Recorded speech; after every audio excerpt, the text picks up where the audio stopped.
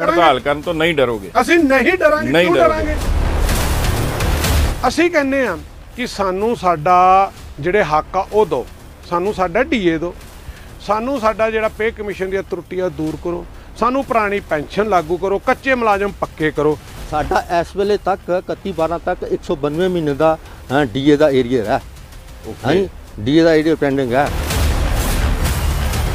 ਗੜਕਰ committee ਇੱਕ 1966 ਚ ਬਣੀ ਸੀ। ਜੀ। ਜਿਹਦੇ ਵਿੱਚ ਉਹਨਾਂ ਨੇ ਸਪਸ਼ਟ ਕੀਤਾ ਸੀ ਕਾਰ ਉਹਨੇ ਵੀ ਇਹਨਾਂ ਦਾ ਡੀਏ ਦਾ ਜਿਹੜਾ ਆਫੀਸਰ ਨੂੰ ਲੋੜ ਨਹੀਂ ਹੈਗੀ। ਜਿੰਨਾ ਕਿ ਹੈ ਮੁਲਾਜ਼ਮਾਂ ਨੂੰ ਜਾਂ ਛੋਟੇ ਤਬਕੇ ਦੇ ਹਾਂ ਮੁਲਾਜ਼ਮਾਂ ਨੂੰ ਜਾਂ ਪੈਨਸ਼ਨਰਾਂ ਨੂੰ ਲੋੜ ਹੈ। ਮੈਡੀਕਲ ਫੈਸਿਲਿਟੀ ਅਸੀਂ ਮੰਗ ਰਹੇ ਹਾਂ ਉਹ ਨਹੀਂ ਹਾਂ ਦੇ ਰਹੀ ਵੀ ਕੈਸ਼ਲੈਸ ਸਕੀਮ ਲਾਗੂ ਕਰੋ। ਤੇ ਹੁਣ ਹੁਣ ਆਪਣਾ ਉੱਥੇ ਹੀ ਆ ਗਈ ਗੱਲ ਵੀ ਹੁਣ ਅਸੀਂ ਕਿਹਨੂੰ ਹਾਂ ਪੈਸੇ ਦੇ ਕੇ ਕੰਮ ਕਰਾਈਏ। ਆਮ ਬੰਦਾ ਜਿਹੜਾ ਨਾਗਰਿਕ ਆ ਪੰਜਾਬ ਦਾ ਜਾਂ ਭਾਰਤ ਵਾਸੀ ਹੈਗਾ, ਉਹਨੂੰ ਐ ਲੱਗਦਾ ਕਰਪਸ਼ਨ ਦੇ ਵਿਰੁੱਧ ਸਰਕਾਰ ਨੇ ਬਹੁਤ ਵੱਡਾ ਐਕਸ਼ਨ ਕਰ ਲਿਆ ਹੈਗਾ। ਤੇ ਉਹ ਸਰਵਿਸ ਰੂਲ ਇਹ ਨਹੀਂ ਹੁੰਦੀ ਕਿ ਆਪਣੀ ਮਰਜ਼ੀ ਨਾਲ ਬਣਾਉਂਦੀ, ਉਹ ਕਨਸਟੀਟਿਊਸ਼ਨ ਦੀ ਕਿਸੇ ਨਾ ਕਿਸੇ ਧਾਰਾ ਦੇ ਅੰਤਰਗਤ ਬਣਾਏ ਜਾਂਦੇ ਆ, ਇਵੇਂ ਨਹੀਂ ਬਣ ਜਾਂਦੇ। ਜਦੋਂ ਬਣਾਏ ਗਏ ਆ, ਤੇ ਉਹਦੇ ਵਿੱਚ ਇਹ ਕਿਹਾ ਗਿਆ ਕਿ ਆਲੀ ਆਲੀਆ ਸੈਂਕਸ਼ਨ ਰਿਕੁਆਇਰਡ ਆ, ਤੇ ਜੇ ਉਹ ਸੈਂਕਸ਼ਨ ਨਹੀਂ ਲਈਆਂ ਜਾਂਦੀਆਂ, ਤਾਂ ਫਿਰ ਇਹਦਾ ਮਤਲਬ ਇਹ ਆ ਕਿ ਆਪਾਂ ਜੋ ਚਾਹੀਏ, ਉਹ ਕਰ ਲਈਏ।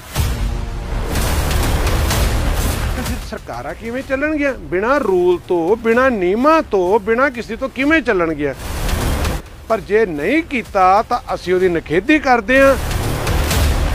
ਜੇ ਮੈਂ ਕਹਾਂ ਜਾਂ ਕੋਈ ਹੋਰ ਕਵੇ ਕਿ ਅਸੀਂ ਕਰਪਸ਼ਨ ਦੇ ਹਾਮੀ ਆ ਬਿਲਕੁਲ ਨਹੀਂ ਹਾਮੀ। ਇਹ ਪਰ ਸਾਡੇ ਨਾਲ ਧੱਕਾ ਹੋਇਆ। ਧੱਕਾ ਕੀ ਹੋਇਆ? ਜਿਹੜੀ ਮੈਂ ਪਹਿਲੀ ਗੱਲ ਕਹੀ ਹੈ, ਜੇ ਤੇ ਉਹ ਧੱਕਾ ਹੋਇਆ, ਉਹਦੇ ਵਿਰੁੱਧ ਉਹਨਾਂ ਨੂੰ ਲੜਨਾ ਚਾਹੀਦਾ ਸੀ। ਉਹ ਇਹ ਸਰਕਾਰ ਨੇ ਵਾਅਦੇ ਕੀਤੇ। ਅਸੀਂ ਉਹਨਾਂ ਨੂੰ ਵਾਅਦੇ ਯਾਦ ਕਰਾਉਂਦੇ ਆ ਅਸੀਂ ਉਹਨਾਂ ਨੂੰ ਕਹਿੰਦੇ ਸਾਨੂੰ ਮੀਟਿੰਗ ਤੇ ਬੁਲਾਓ। ਅਸੀਂ ਮੀਟਿੰਗ ਚਾਹੁੰਦੇ ਵੀ ਮੀਟਿੰਗ ਦੇ ਵਿੱਚ ਇਹ ਮਸਲੇ ਹੱਲ ਕਰ ਲਏ ਜਾਣ। ਹੁਣ ਜਦੋਂ ਮੀਟਿੰਗ ਨਾ ਮਿਲੇ ਜਾਂ ਮਸਲੇ ਹੱਲ ਨਾ ਕਰੇ, ਤੇ ਰਾਈਟ ਟੂ ਪ੍ਰੋਟੈਸਟ ਸਾਨੂੰ ਕਿਹਨੇ ਦਿੱਤਾ? ਰਾਈਟ ਟੂ ਪ੍ਰੋਟੈਸਟ ਸਾਨੂੰ ਕਨਸਟੀਟਿਊਸ਼ਨ ਨੇ ਦਿੱਤਾ। ਅਸੀਂ ਰਾਈਟ ਟੂ ਪ੍ਰੋਟੈਸਟ ਕਰਾਂਗੇ।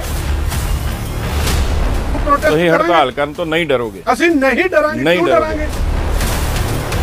ਤੇ ਹੁਣ ਅਗਲੀ ਗੱਲ ਇਹ ਹੈ ਵੀ ਕੀ ਭਗਵੰਤ ਸਿੰਘ ਮਾਨ ਦਾ ਇਹ ਦਬਕਾ ਲੱਖਾਂ ਮੁਲਾਜ਼ਮਾਂ ਤੇ ਵੀ ਲਾਗੂ ਹੋਊਗਾ ਜਿਹੜੇ ਅਕਸਰ ਆਪਣੀਆਂ ਮੰਗਾਂ ਲਈ ਹੜਤਾਲ ਕਰਦੇ ਨੇ ਇਹਦੇ ਤੇ ਚਰਚਾ ਕਰਾਂਗੇ ਸੁਖਚੈਨ ਸਿੰਘ ਖਹਿਰਾ ਜਿਹੜੇ ਸਕੱਤਰੇ ਦੇ ਵੱਡੇ ਲੀਡਰ ਨੇ ਔਰ ਮੁਲਾਜ਼ਮ ਮੰਚ ਦੇ ਕਨਵੀਨਰ ਨਾਲ ਦੀ ਨਾਲ ਇੱਕ ਅਸੀਂ ਅੱਜ ਜਿਹੜੇ ਰਿਟਾਇਰਡ ਮੁਲਾਜ਼ਮਾਂ ਦੇ ਲੀਡਰ ਨੇ ਪੈਨਸ਼ਨ ਮਹਾਸੰਘ ਦੇ ਪ੍ਰਧਾਨ ਨੇ ਡਾਕਟਰ ਐਨ ਕੇ ਕਲਸੀ ਜੀ ਉਹਨਾਂ ਨੂੰ ਸੱਦਿਆ ਪੁੱਛਾਂਗੇ ਵੀ ਹੁਣ ਇਹ ਦਬਕਾ ਜਿਹੜਾ ਆ ਕਿੱਥੋਂ ਤੱਕ ਜਾਊਗਾ।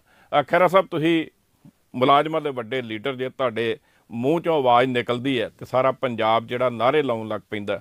ਇਹ ਜਿਹੜਾ ਘਟਨਾਕ੍ਰਮ ਵਾਪਰਿਆ ਇਹਨੂੰ ਕਿਵੇਂ ਦੇਖਦੇ ਜੇ? ਇਹ ਜਿਹੜਾ ਚੱਪੇਕ ਦਾ ਇੱਕ ਲੈਟਰ ਆਇਆ ਭਗਵੰਤ ਸਿੰਘ ਮਾਨ ਦਾ ਲੱਗਦਾ ਨਹੀਂ ਵੀ ਤੁਹਾਡੇ ਸਾਰੇ ਮੁਲਾਜ਼ਮਾਂ ਨੂੰ ਵੀ ਕੰਮ ਨਹੀਂ ਛੇੜਤੇ ਹੁਣ ਆ ਗਈ ਸਾਡੀ ਗੱਲ ਜੋ ਤੁਸੀਂ ਕਹੀ ਆ। ਅਸੀਂ ਕਹਿੰਦੇ ਆ ਕਿ ਸਾਨੂੰ ਸਾਡਾ ਜਿਹੜੇ ਹੱਕ ਆ ਉਹ ਦਿਓ। ਸਾਨੂੰ ਸਾਡਾ ਡੀਏ ਦਿਓ। ਸਾਨੂੰ ਸਾਡਾ ਜਿਹੜਾ ਪੇ ਕਮਿਸ਼ਨ ਦੀਆਂ ਤਰੁੱਟੀਆਂ ਦੂਰ ਕਰੋ। ਸਾਨੂੰ ਪੁਰਾਣੀ ਪੈਨਸ਼ਨ ਲਾਗੂ ਕਰੋ। ਕੱਚੇ ਮੁਲਾਜ਼ਮ ਪੱਕੇ ਕਰੋ। ਇਹ ਸਰਕਾਰ ਨੇ ਵਾਅਦੇ ਕੀਤੇ। ਅਸੀਂ ਉਹਨਾਂ ਨੂੰ ਵਾਅਦੇ ਯਾਦ ਕਰਾਉਂਦੇ ਆ ਅਸੀਂ ਉਹਨਾਂ ਨੂੰ ਕਹਿੰਦੇ ਸਾਨੂੰ ਮੀਟਿੰਗ ਤੇ ਬੁਲਾਓ। ਅਸੀਂ ਮੀਟਿੰਗ ਚਾਹੁੰਦੇ ਵੀ ਮੀਟਿੰਗ ਦੇ ਵਿੱਚ ਇਹ ਮਸਲੇ ਹੱਲ ਕਰ ਲਏ ਜਾਣ। ਹੁਣ ਜਦੋਂ ਮੀਟਿੰਗ ਨਾ ਮਿਲੇ ਜਾਂ ਮਸਲੇ ਹੱਲ ਨਾ ਕਰੇ ਤੇ ਰਾਈਟ ਟੂ ਪ੍ਰੋਟੈਸਟ ਸਾਨੂੰ ਕਿਹਨੇ ਦਿੱਤਾ?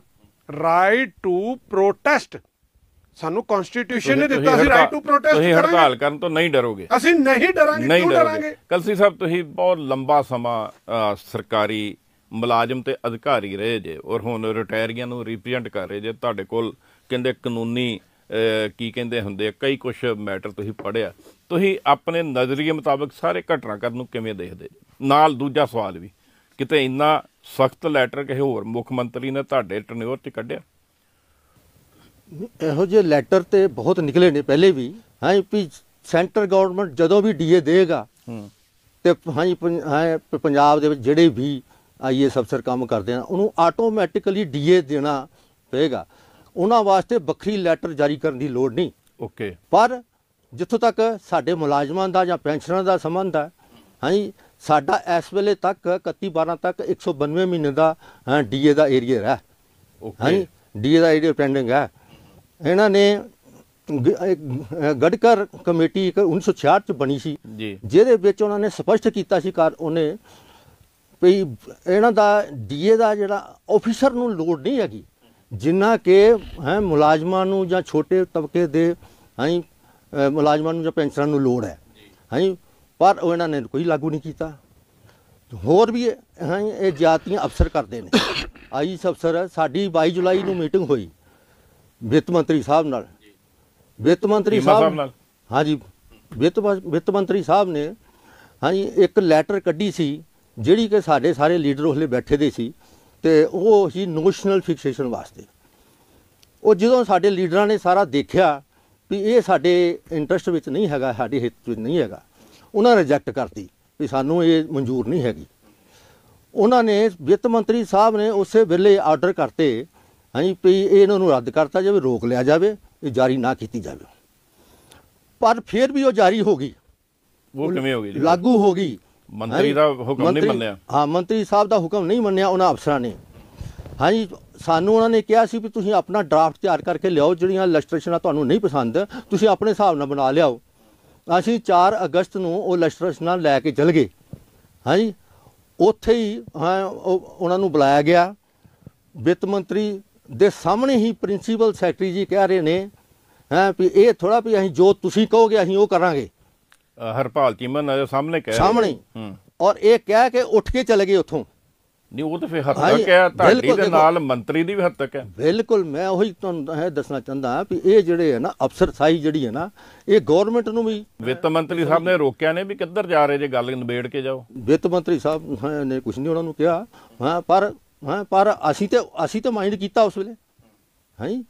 ਚਲੋ ਅ, ਸਾਹਿਬ ਇਹ ਤਾਂ ਬੜੇ ਵਿਕਟਮ ਲੱਗਦੇ ਆ ਬਿਊਰੋਕ੍ਰੇਸੀ ਦੇ ਵੈਸੇ ਤਾਂ ਤੁਹਾਡਾ ਵਾਹ ਪੈਂਦਾ ਰਹਿੰਦਾ। ਆਮ ਬੰਦਾ ਜਿਹੜਾ ਨਾਗਰਿਕ ਆ ਪੰਜਾਬ ਦਾ ਜਾਂ ਭਾਰਤ ਵਾਸੀ ਹੈਗਾ ਉਹਨੂੰ ਐ ਲੱਗਦਾ ਕਰਪਸ਼ਨ ਦੇ ਵਿਰੁੱਧ ਸਰਕਾਰ ਨੇ ਬਹੁਤ ਵੱਡਾ ਐਕਸ਼ਨ ਕਰ ਲਿਆ ਹੈਗਾ। ਠੀਕ ਆ ਸਰਕਾਰ ਨੇ ਐਕਸ਼ਨ ਕੀਤਾ। ਪਰ ਮੈਂ ਸਰਕਾਰ ਨੂੰ ਕਹਿੰਦਾ ਵੀ ਉਹ ਸਾਡੇ ਸਰਵਿਸ ਰੂਲ ਦੇ ਵਿੱਚੋਂ ਖਤਮ ਕਰੋ। ਤੇ ਜੇ ਖਤਮ ਨਹੀਂ ਕਰਨਾ ਨੂੰ ਅਡਾਪਟ ਕਰੋ। ਇਹ ਆਮ ਬੰਦੇ ਨੂੰ ਥੋੜਾ ਪਤਾ ਉਹ ਤੇ ਇਹ ਕਹਿੰਦਾ ਵੀ ਇਹ ਕਰਪਸ਼ਨ ਸੀਗੀ ਇਹਨੂੰ ਚੱਕ ਲਿਆ ਬੱਲੇ ਬੱਲੇ ਤਾੜੀਆਂ ਮਾਰਦੇ ਖੁਸ਼ੀ ਹੁੰਦੇ ਕੱਲ ਉਹਨਾਂ ਨੇ ਜੁੱਤੀਆਂ ਦੇ। ਹਾਰ ਪਾਏ ਸਭ ਕੁਝ ਕੀਤਾ ਤੁਸੀਂ ਵਿਜੀਲੈਂਸ ਦਫ਼ਤਰ ਦੇ ਸਾਹਮਣੇ ਹੋ ਸਕਦਾ ਉਹ ਪਾਰਟੀ ਮੈਂਬਰ ਹੀ ਹੋਣ ਇਹਦੇ ਵਿੱਚ ਸਾਨੂੰ ਨਹੀਂ ਪਤਾ ਪਰ ਗੱਲ ਤੇ ਯਾਰ ਸਾਡੇ ਲਈ ਰੂਲ ਹੋਰ ਤੇ ਆਈਐਸ ਅਫਸਰਾਂ ਲਈ ਕੋਈ ਰੂਲ ਹੋਰ।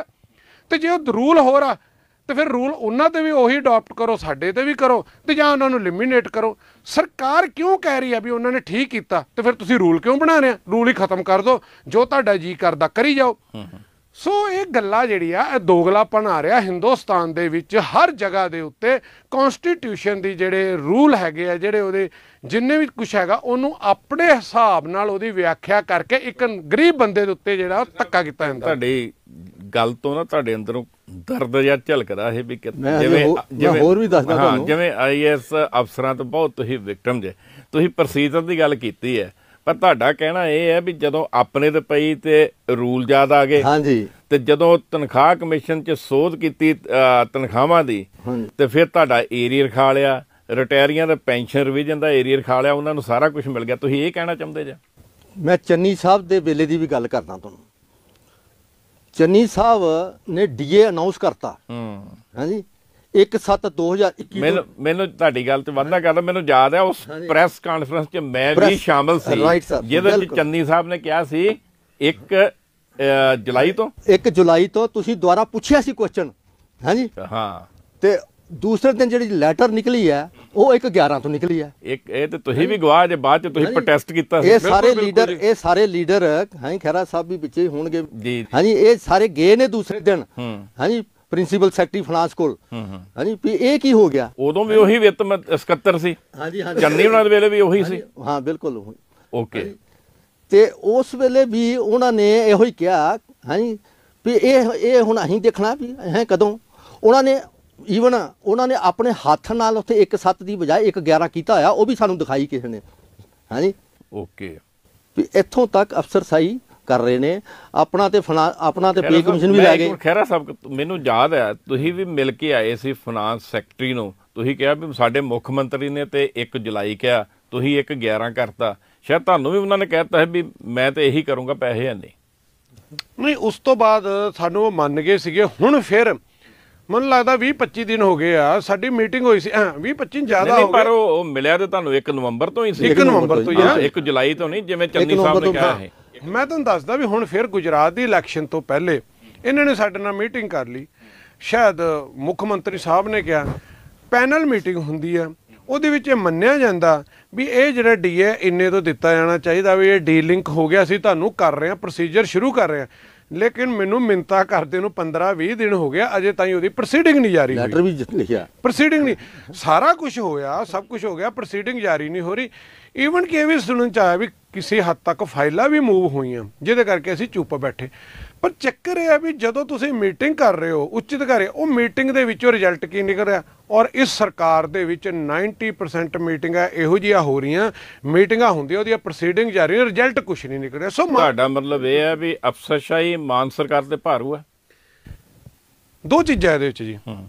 ਜਾਂ ਤੇ ਮਾਨ ਸਰਕਾਰ ਦੀ ਢਿੱਲਾ ਕਿ ਅਫਸਰਸ਼ਾਹੀ ਤੋਂ ਕੰਮ ਨਹੀਂ ਲੈ ਰਹੀ। ਓਕੇ। ਤੇ ਜਾਂ ਅਫਸਰਸ਼ਾਹੀ ਤਾਂ ਸਦਾ ਹੀ ਰਹੀ ਆ। ਕਿ ਉਹਨੂੰ ਉਹਨੂੰ ਜੋ ਕਿਹਾ, ਉਹਨੇ ਤਾਂ ਕੰਨ ਵੱਟਣੇ ਹੀ ਵੱਟਣੇ ਵੀ ਆ ਕੰਮ ਹੋਵੇ, ਨਾ ਹੋਵੇ, ਮੀਟਿੰਗ ਕੀਤੀ ਜੈਸ ਸਰ ਜੈਸ ਸਰ, ਕਰਨਾ ਹੀ ਕਰਨਾ। ਪਰ ਐਫੀਸ਼ੀਐਂਸੀ ਕਿਹਦੀ ਚਾਹੀਦੀ ਹੈ? ਐਫੀਸ਼ੀਐਂਸੀ ਉਹ ਜਿਹੜਾ ਐਡਮਿਨਿਸਟ੍ਰੇਟਰ ਹੈ। ਐਡਮਿਨਿਸਟ੍ਰੇਟਰ ਕੌਣ ਹੈ? ਐਡਮਿਨਿਸਟ੍ਰੇਟਰ ਸਰਕਾਰ ਆ। ਸਰਕਾਰ ਨੂੰ ਪਤਾ ਹੋਣਾ ਚਾਹੀਦਾ, ਮੈਂ ਕੰਮ ਕੀ ਕਰਨਾ, ਮੈਂ ਜਿਹੜੇ ਆ, ਮੈਂ ਆਈਐਸ ਅਫਸਰ ਜਿਹੜੇ ਇੱਥੇ, ਮੈਂ ਆਪਣੀ ਇੱਕ ਟੀਮ ਦੇ ਵਿੱਚ ਸ਼ਾਮਿਲ ਕੀਤੇ, ਕਿ ਉਹ ਇੰਨੇ ਐਫੀਸ਼ੀਐਂਟ ਹੈ, ਉਹ ਕੰਮ ਕਰ ਰਹੇ ਨੇ। ਤੇ ਜੋ ਕੰਮ ਹੀ ਨਹੀਂ ਕਰ ਰਹੇ, ਤੇ ਫਿਰ ਸਰਕਾਰ ਨੂੰ ਉਹਦਾ ਫਾਇਦਾ ਕੀ ਹੋਣਾ? ਉਹਦਾ ਨੁਕਸਾਨ ਹੀ ਹੋਣਾ। ਹੁਣ ਵੀ ਇਹ ਜਿਹੜੀ ਲੜਾਈ ਹੈ, ਕਿਤੇ ਨਾ ਕਿਤੇ ਅਨਐਫੀਸ਼ੀਐਂਟ ਜਿਹੜੇ ਇਨਐਫੀਸ਼ੀਐਂਟ ਬੰਦੇ ਉਹਨਾਂ ਕਰਕੇ ਹੀ ਆ। ਖੈਰ ਸਾਹਿਬ ਨੂੰ ਲੱਗਦਾ ਵੀ ਕਿਤੇ ਨਾ ਕਿਤੇ ਵਿਰੋਧੀ ਧਿਰ ਜਿਹੜਾ ਦੋਸ਼ ਲਾਉਂਦੇ ਵੀ ਇਹਨਾਂ ਕੋਲ ਤਜਰਬਾ ਘੱਟ ਆ ਤੇ ਉਹਦਾ ਫਾਇਦਾ ਅਧਿਕਾਰੀ ਕਿਤੇ ਚੱਕ ਰਹੇ ਇਹਦੇ ਵਿੱਚ ਵੀ ਕਈ ਫੈਕਟਰ ਆ ਜੀ। ਇੱਕ ਫੈਕਟਰ ਜੋ ਤੁਸੀਂ ਦੱਸਿਆ ਉਹ ਹੈਗਾ ਕਿ ਉਹਨਾਂ ਨੂੰ ਤਜਰਬਾ ਨਹੀਂਗਾ। ਨੰਬਰ 2 ਉਹਨਾਂ ਦੇ ਉੱਪਰ ਉਹਨਾਂ ਕੋਲ ਪਾਵਰ ਕਿਉਂ ਨਹੀਂ ਦਿੱਤੀ ਗਈ? ਉਹਨਾਂ ਕੋਲ ਪਾਵਰ ਹੀ ਨਹੀਂ ਹੈਗੀ। ਜੋ ਮੈਂ ਸੋਚਦਾ ਮੈਨੂੰ ਨਹੀਂ ਪਤਾ ਕੀ ਹੈ ਮੈਂ ਜੋ ਸੋਚਦਾ ਸੈਕਟਰੀਏਟ 'ਚ ਰਹਿਣਾ ਉਹਨਾਂ ਕੋਲ ਪਾਵਰ ਹੀ ਨਹੀਂ ਹੈਗੀ। ਈਵਨ ਕਿ ਉਹਨਾਂ ਕੋਲ ਬਿਆਨ ਦੇਣ ਦੀ ਪਾਵਰ ਹੋਣੀ, ਜੋ ਮੈਂ ਸੋਚਦਾ, ਬਿਆਨ ਵੀ ਦਿੱਤੇ ਜਾਂਦੇ ਨੇ।